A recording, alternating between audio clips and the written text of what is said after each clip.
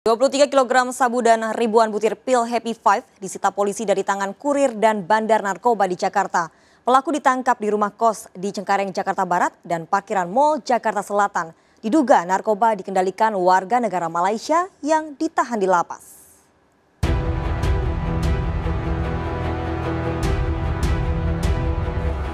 Satres Narkoba Polres Jakarta Barat merilis hasil tangkapan lima orang pelaku pengedar narkotika yang dilakukan di wilayah Cengkareng, Jakarta Barat.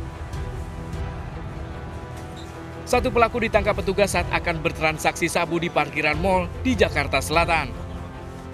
Dalam operasi ini petugas mengamankan 23,6 kg sabu dan 1.900 butir pil Heavy Five serta satu unit mobil jenis sedan. Sementara pelaku lain yang diketahui kurir disergap di kamar kosnya di wilayah Cengkareng, Jakarta Barat. Ditemukan tas berisi 500 gram sabu dan ribuan butir pil Heavy Five dalam kamar.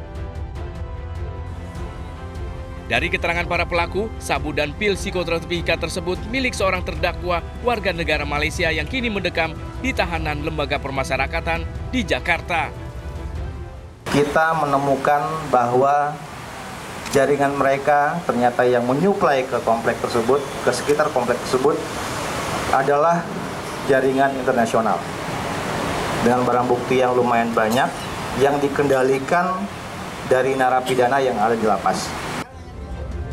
Dari penangkapan ini, polisi masih memburu satu pelaku lain yang telah diketahui identitasnya. Kini kelima pelaku dijerat dengan pasal berlapis tentang penyalahgunaan narkotika dengan ancaman hukuman seumur hidup. Dari Jakarta, Miftahul Gani, iNews melaporkan.